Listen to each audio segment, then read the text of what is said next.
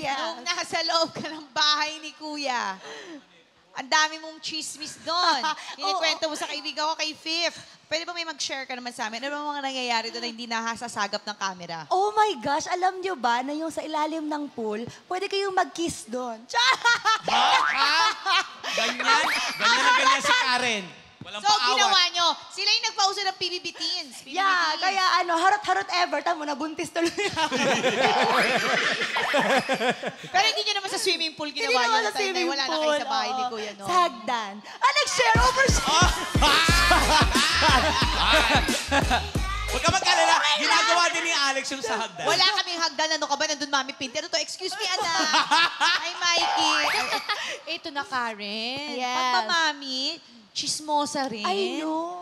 Mas chismosa ba? Mas chismosa. Sino mga kachismis mo? Mga co-mommies mo? Hindi. Minsan, mga ganyan. May tanong ako. O, sige, go. Bilang Tanungin first mo. time ako may hanas, may tanong, bakit ka ba talaga umalis ng ano, girl trends? Oo. Yung totoo, Karen. Ano yung rason kung bakit, Bakit umalis ka ba sa kasi umalis girl since sabi mo naman oversharing ka? I-share mo sa Share, amin. oh, share ko na talaga. Sinabi ko na naman na ito talagang matagal na. Umiiyak ako talaga noon kasi inaway na lang ako ng rehearsal. Lahat Tapos- sila inaway ka? Hindi, tatlo sila. Bakit? Bakit ka nila inaway? Yun na lang yung last question Kasi, ko. para kasi nag-aaway sila over isang... Lalet. Oo. Ah, so parang nag-step in ka. Oo, tapos sinabihan ako nung isa, galing bilang galing PBB Teens, ang sabi sa akin, parang hindi ka naman dati ganyan. Sabi ko talaga, at least ako, hindi ako labas na labas. Ay, oo.